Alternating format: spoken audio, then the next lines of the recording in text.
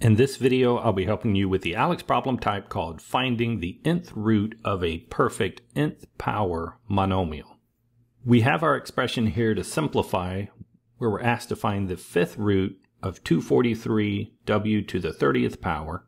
And since these are perfect power monomials and our root here is a fifth root, we should be able to write each of these components with a fifth exponent in rewriting, we'll start with that 243.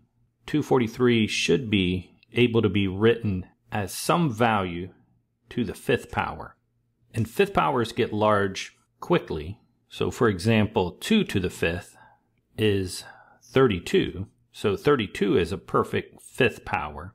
And 3 to the fifth power is our 243.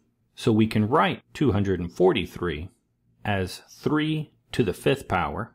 And then the second part is the W30. We should also be able to write that as some value to the fifth power. And we know we're going to have a W on the inside. And here the power would have to be 6 because multiplying the power inside and outside would give us that 30.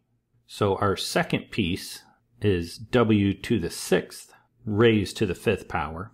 And from here, we can evaluate the fifth root.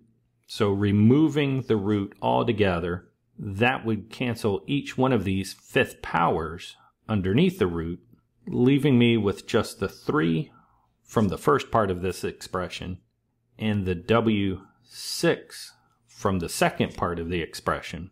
Rewriting it this way has made it much more visible what's happening and our simplified root is 3w to the sixth power.